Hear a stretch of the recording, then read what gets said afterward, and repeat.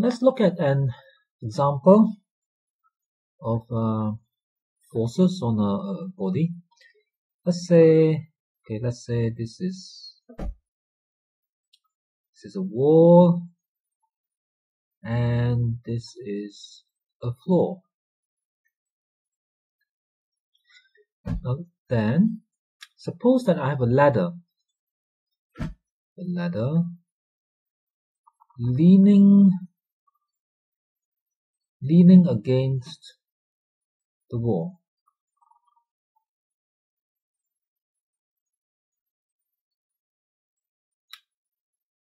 Okay.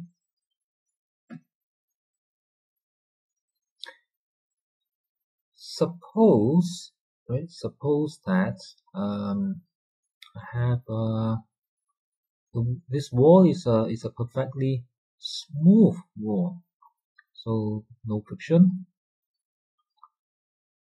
No friction uh, along the wall. But this is a, a rough floor.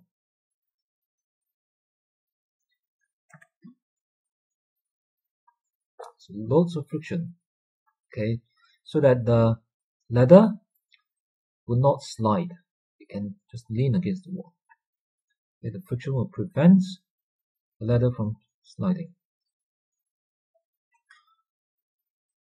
suppose now that um, this is a uniform ladder so that the center of gravity is at the center here. So this means that we can think of the weight of the ladder, the whole weight of the ladder as just acting at this point. Recall that's how we understand center of gravity.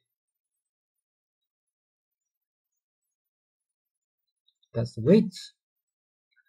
Uh, so shall we say that the weight is maybe 100 newtons? 100 newtons. Alright. Now at the wall, at the wall, because there's no uh, friction, so there are, there are no forces along this direction. The only force that is poss possible is a force that is perpendicular to, to the wall. And this force has to be perpendicular because the moment it is not perpendicular, the moment we have force at an angle, it means that that force would have a component along the direction of the wall. And that can only come from friction because only friction is along uh, along the wall, but that's not possible because the wall is smooth. Okay, so I'll call this force, I'll call this force F.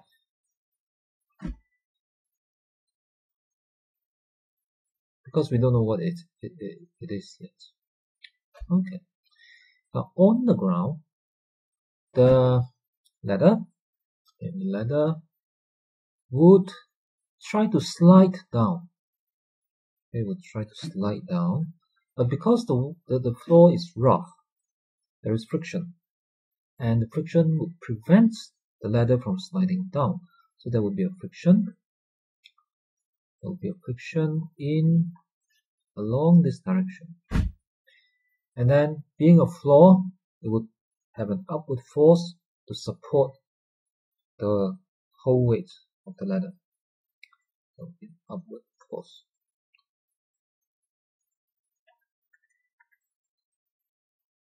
force. Okay, the combined effect of these two forces would be a resultant somewhere along, say, uh, let's try and draw this.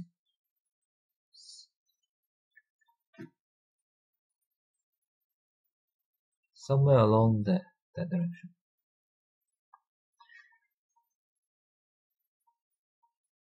Okay, good. Um,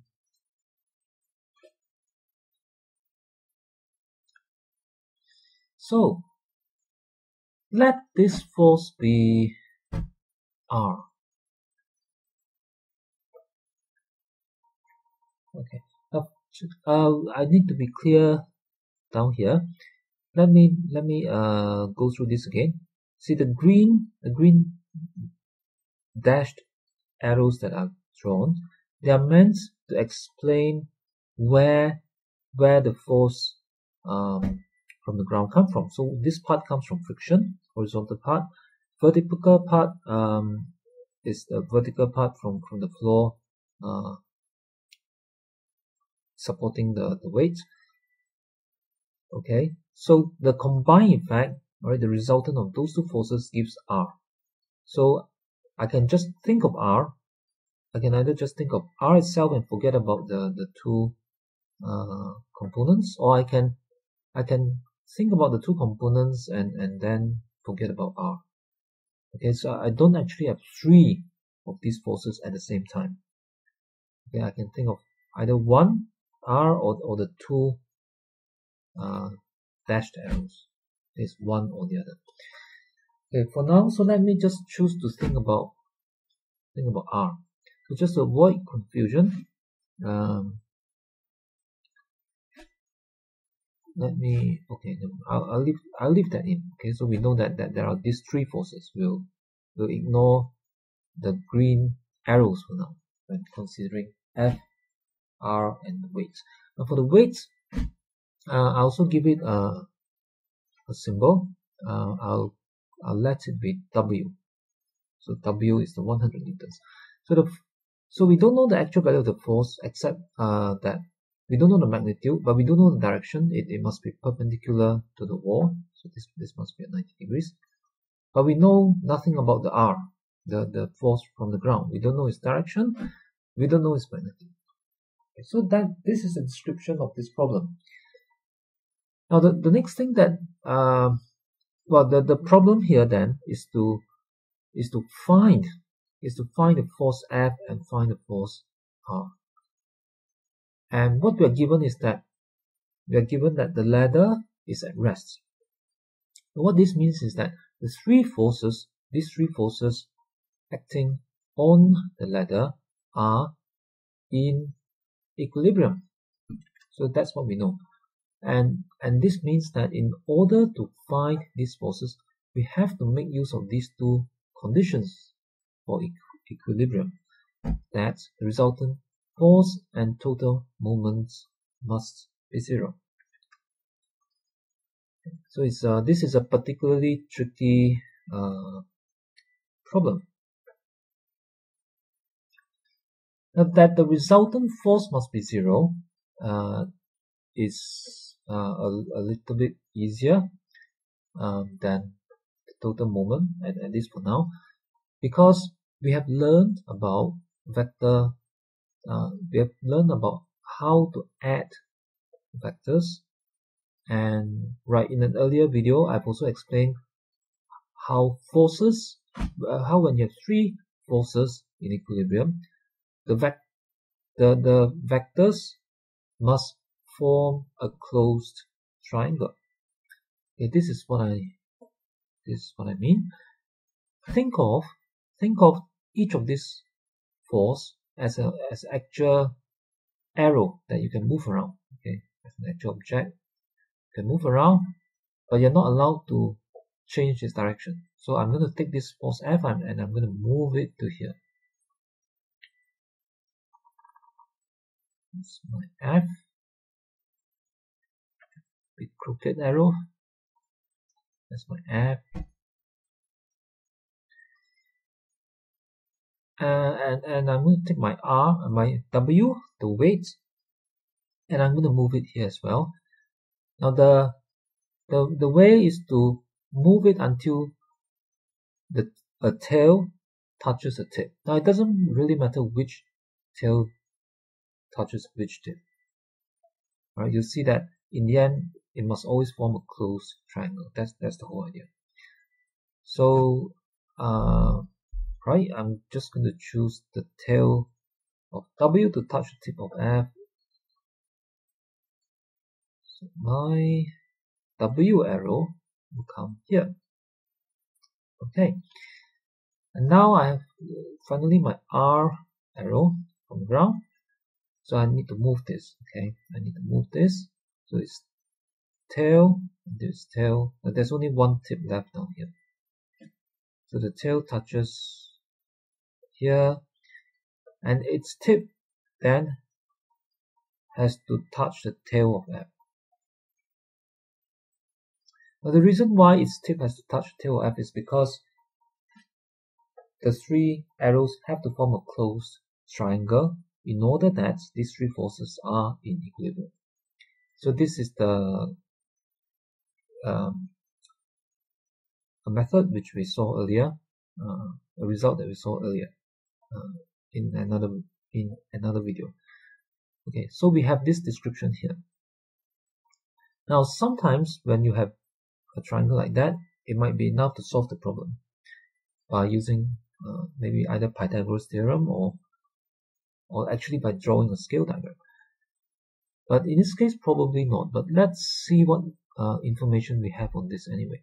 We have that this is a right angle, uh, meaning that the force is horizontal, the weight is vertical. So, so this is a right angle here, okay, horizontal, vertical. And we also have um, the magnitude for W, which is 100 newtons. That's the magnitude of this. We don't know F, we don't know R, we don't have the angles either. Right? We don't have this angle, we don't have that angle. So, so there's not enough information to solve this triangle. So in order to, to, to find F and R or, and, and the angles, we need more information. And we do have another part to this method that the total moment must be zero. Okay. In this case, we have forces in, in all different directions. They're not just pointing up or down. Okay, they, are, they can be slanted and then this one is slanted. So it's, it's a little bit more tricky to find the total moments in this case. Right. Now, but we are going to try anyway. We'll try. Now, the important point, an, an important detail about this total moment is the detail that is not mentioned. Okay, is that the moment, the total moment can be taken about about any point, any pivot.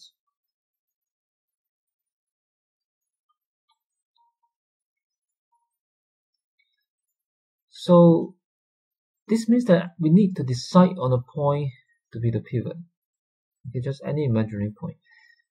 and as I mentioned uh, earlier the last video it might or would probably be useful to choose a point at one of the uh, choose the pivot at one of the forces reason being that if you do that then the moment from that force is zero and things becomes easier now I have three forces here which should I choose?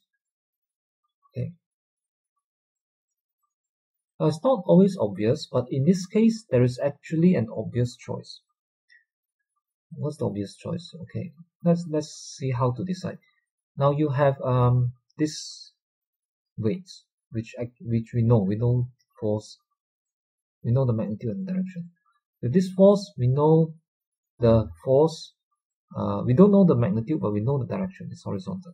And then we have this force. It is uh, we know nothing.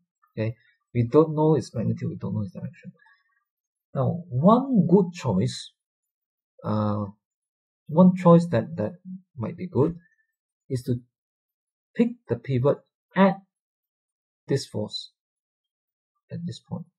That means pick the pivot at the force that we know the least about. Right? If we know nothing about this force, we don't know the magnitude, we don't know the pivot uh, direction. Right? It might actually be best to pick the pivot here. Pick this point as my pivot. But why is that? Why should I pick a pivot at a point where at a force that I know nothing about? The answer is very simple. Because if I pick my pivot there, then the moment due to this force is zero. And that means that I don't have to worry about it at all. And that's that's very good because I know nothing about it. Okay, so if I don't have to worry about it, then then uh, I'm left with other forces that I know something about. Maybe I can, maybe it's easier to then find the problem. Right? Hopefully things will, will get easier from this point. So choosing this as the pivot, right? Let us then look at those two forces and see what we can see if we can find. Uh, in this case, we're just left with F as unknown. See if we can find that. Um, okay. Now we need some more information here actually. We should, right, for, for finding moments, we need to know about distances. So I've not given the any distance yet. So let me say that the, the distance from this point, the, the bottom of the ladder, to the corner of the wall, let me say uh, it is 1 meter. I'm just going to make things easy by calling this 1 meter as well. So let's say top of the ladder from the ground is also 1 meter. Okay.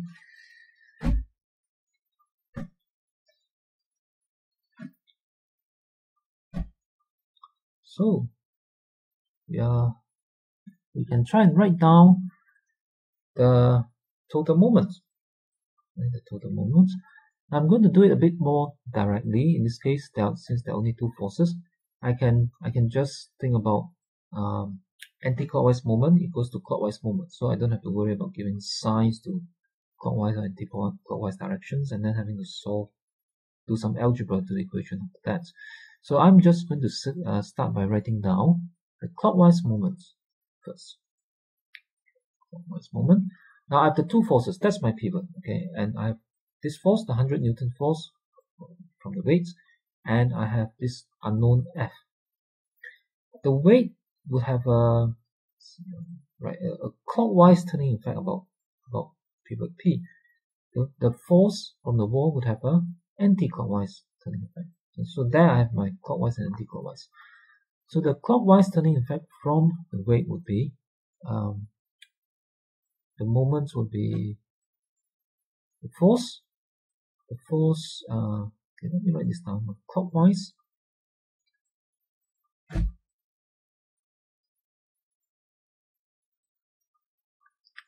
clockwise and my anti-clockwise, anti-clockwise.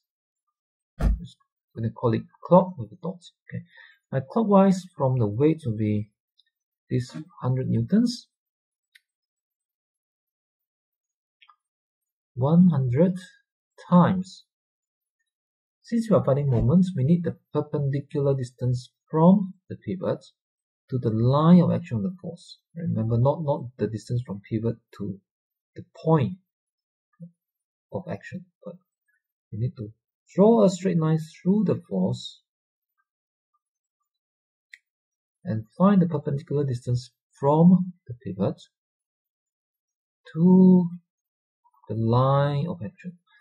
So this distance, right, let's see, what is this distance? We know that the distance from P to the corner of the wall is 1 meter. And we are taking this to be a, uniform ladder, so the center of gravity is right at the center. So therefore, therefore the distance here should be half a meter. So times 0 0.5. Okay, so this distance. This distance should be half a meter. So there I have my clockwise moments, 100 times 0.5. Next, to find the anti-clockwise moment from the unknown F, I need to multiply the force F by its perpendicular distance, at the perpendicular distance from the pivot to its line of action. Now, it, the line of action of F would be this straight line that we can draw over we can draw along it. So from pivot to this line of action, that would be this distance, wouldn't it? This distance. Perpendicular. So this distance is just the one meter, right, that was given. So that's one. And now, if we look at this equation that we we have just written down, we can actually solve for the f. on the right side f times 1 is just f and on the left side 0.5 times 100 is 50 and since, this is force the answer is in newton. F is 50 newtons. We have just found f. Right you and all using this this total moment equal to zero condition. And it, it was actually quite straightforward. And we had a simple equation so having found f we are now ready to find R. Okay. Now there are there are uh, I suppose more than one way to find it, but let's maybe okay let's look at this vector triangle. We can probably use this vector triangle. We have now got a new piece of information. If you if you recall, we only knew just now we only only knew that uh, W the weight was 100 newton. But now we also know that the force F is 50 Newton. So that this is 50 Newton. So now that I know this side is 50, that side is 100, and I also know this, this right angle here, I can use the Pythagoras theorem to find R. So let me do that. So therefore, therefore, um, R is equal to the square root of um, 100 squared plus 50 squared.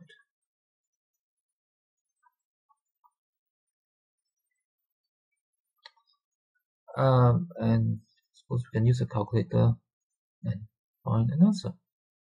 I'm just going to write this down in surd form. Just so I just so um, something quick to write down. Let's see if I factor out a 50. That will be a 2 squared, is 4 plus 1, and so that's fine. Okay, that, that'll do for now. And we, we know a force has to be described by both its magnitude and direction. So to get the full answer, we really need to find the direction, a direction as well. So for example, if I want, say, the angle between this force and the ground, right? Say I want I want to know this angle theta. Now on the triangle, it corresponds to this angle theta. You can see this this part is symmetrical to that part, and I can find theta um, by say uh, once again using this right angle triangle. Tangent of theta is is this side is the 100 divided by 50. So, so theta, therefore, is the inverse tangent of 100 over 50.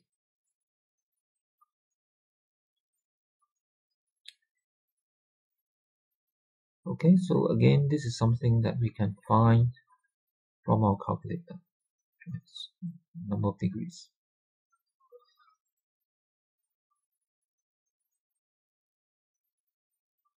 Now finally, um, before I finish, I'm just going to mention something that could be useful sometimes. Let's see if I can do some magic to this picture. I'm going to make them disappear. Going, going, going. Yeah disappearing.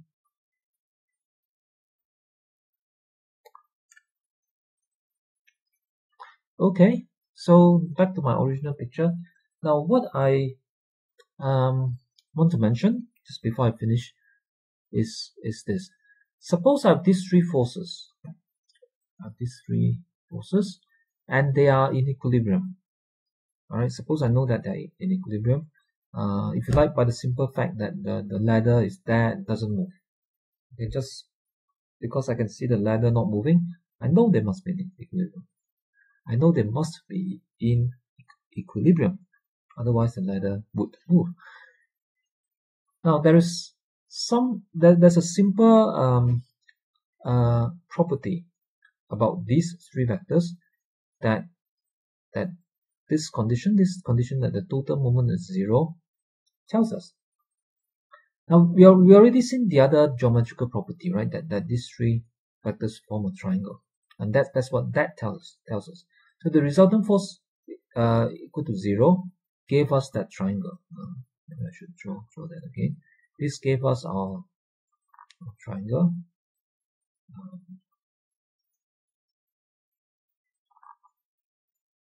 Okay, that's the F, that's W, that's the R. So that, okay, this, this is my W and this is my R. So the total moment, uh, total force equal to zero gave us this vector triangle. Now this, this total moment zero give, actually give us uh, another, a geometrical property as well. Now, here is what it gives us. Because the total moment is zero, this means that these three forces, if I draw their lines of actions, if I draw the lines going along the three forces,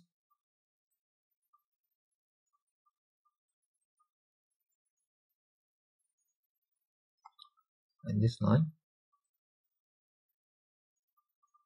these three lines must actually pass through the same point. Okay? This is a very uh very specific property right? They have to pass through the, the same point. And the reason for that is that if they pass through the if they all pass through the same point right when you take the total when you take the moment about that point you must get zero because the distance from of, of the point from the point to all three lines of action would then be zero. Therefore, the moments of all three forces have to be zero. So this is um, this is the if you like the, the geometrical property that this condition tells us. All three forces go through the same point. Okay, well, of course, this only works when we, we have three forces. If you have four or more forces, things are more complicated. But these properties sometimes give us a, a useful way to solve problems, just like we have seen how we can use the, the vector triangle.